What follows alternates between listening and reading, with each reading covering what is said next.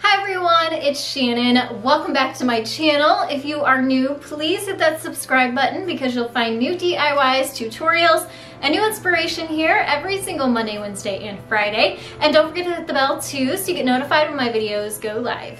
Now today I'm going to take you along with me as I decorate our new Christmas tree. Usually we do a live tree, however this year my theme for our living room is all is calm and it is just how it sounds. Everything is going to be very neutral and toned down and calming, which is definitely a space we could use in our house. So we went ahead and purchased a new flocked Christmas tree. I'm gonna show you all of the elements I'll be using today and also include where I purchased them from. So let's go ahead and get started. First, let me tell you a little bit about this Christmas tree. It is from Hobby Lobby. I waited until it went 50% off and it has been worth every single penny. It's a great quality tree. It went together super fast in less than five minutes and it was beautiful right out of the box. And then for the bottom of the tree, we have sort of a layered look going on. I found this beautiful dark wicker basket type collar, which I love the contrast of the dark and the light. And then we also have a tree skirt underneath of it, and that is from Home Goods. It's a gorgeous, chunky, sweater-looking yarn tree skirt. All right, so let me show you all the elements that I'll be adding to this Christmas tree. We're gonna keep it pretty simple because like I said, we're doing all is calm. So we don't want anything too cluttered and we want everything to stay nice and neutral. So the first thing is this set of Rae Dunn ornaments. I did sort of make an investment in these. This set of 12 was $49.99 at Home Goods, but I have never ever seen the Rae Dunn ornaments before. So when I saw them, I scooped them up and I like that they're neutral so that they can go with any color scheme we might do in the future with our Christmas tree.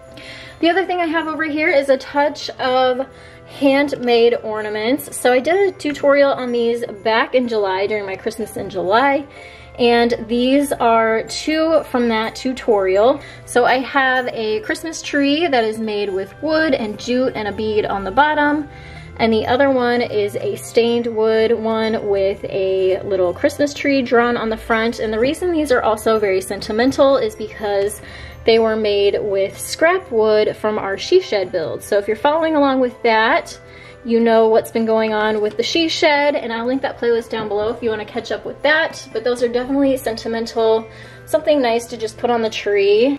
Now I have three of these snowflakes. These are from Hobby Lobby. They're normally $20 each, but at 50% off, they were $10 each. I wanted something a little bit more hefty that was gonna make a statement, but still had that neutral and farmhouse look with it. So these are made with the farmhouse beads, which I loved. And they're nice and big, so they'll be beautiful on the tree. I also have some neutral ribbon. I got this on Christmas after clearance sale. So this is from Michaels. It's normally $15 for the roll, but I'm sure I only paid maybe like $5 at the most for this. It's sort of a neutral, it's not burlap, but it's got the neutral tone of burlap on there. So that's two and a half inch wide and I have a 100 yards on that roll. The tree topper is going to be this Rustic Reindeer. I love him. He is from Kirkland's. He was on our Christmas tree in our bedroom last year. I thought he would really, really look nice out on this Christmas tree this year. So he's gonna get a little bit of an update too, so he'll match really well. But he is beautiful. He has little snowballs in his halo and it's just a gorgeous piece. I'm excited to see that on top of this tree. Next, I also have some lamb's ear. So this is a little bit non-traditional of Christmas, but I love the farmhouse look and I always use this in my decor. So I went ahead and decided that I was gonna pull every single piece of lamb's ear that I have out and use it on this Christmas tree. I'm hoping I don't have to buy more. I have several stems and then I even took apart a centerpiece that I had on hand that had all of these picks stuck into it and took those out so that I could stick them into the tree. And these two wood signs here is kind of what sets the tone for this tree and kind of made up my mind as far as the theme. So these are just kind of wood rusticy signs from Michaels. It says all is calm, all is bright. So those will be cute for the front of the tree first thing I added to my tree was my ribbon. I started at the top and draped it down diagonally. And I also tried to make sure that my loops that I was creating were pretty similar in size. I made sure to tuck all of those sections into the back of the tree so you didn't see the creases that were being formed. I also didn't have to use all of the ribbon on the roll, which was nice because later on I'll be using that for another decor piece.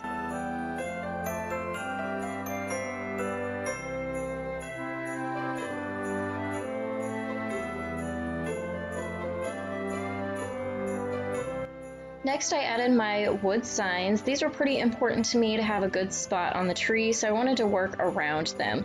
So I just added those in where I wanted before I moved on to the next accessory.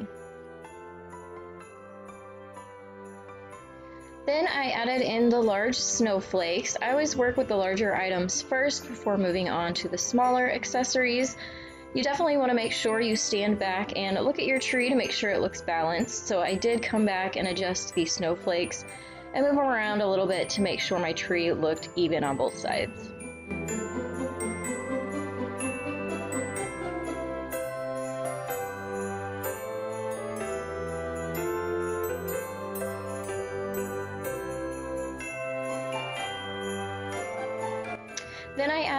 My lamb's ear greenery. I started with my bigger sized picks and sort of used those more towards the bottom of the tree and then came back in with the smaller picks and filled in little spots here and there.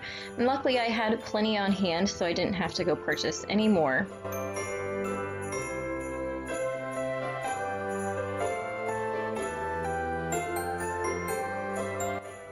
Saved a few of the lamb's ear leaves to add to the reindeer tree topper piece. I just tucked a few of them into the existing greenery to help tie this whole look together.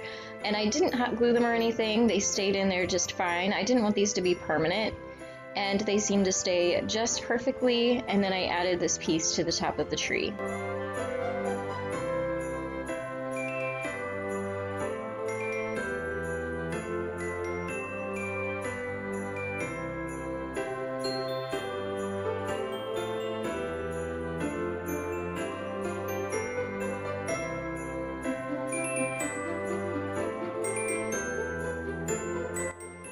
Was time to add my handmade ornaments. I wish I had made a few more of these, but I think that makes them even more special that there's just a few of them, and then that adds that sentimental touch to our tree with memories from our summer.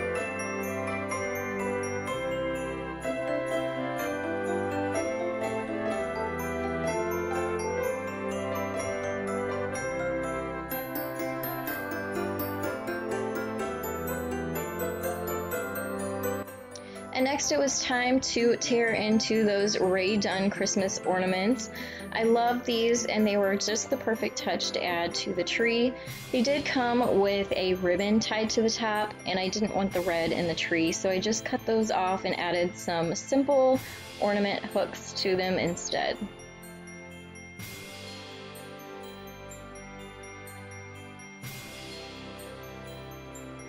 I love this touch of shininess within the tree. It really softened the look. I felt like the bottom of the reindeer tree topper looked a little skinny and I had plenty of my ribbon left over.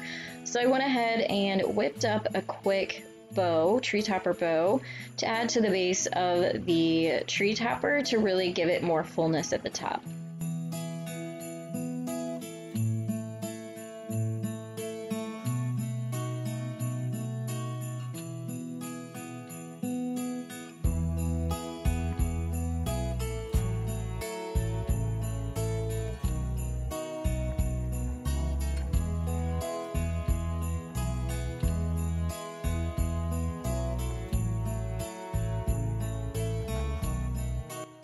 And those are all of the elements and accessories they added to this year's Christmas tree. I am so incredibly happy with the way that the whole thing came together. It is so beautiful in our living room, and I hope to finish decorating the rest of the room with this beautiful tree as our centerpiece.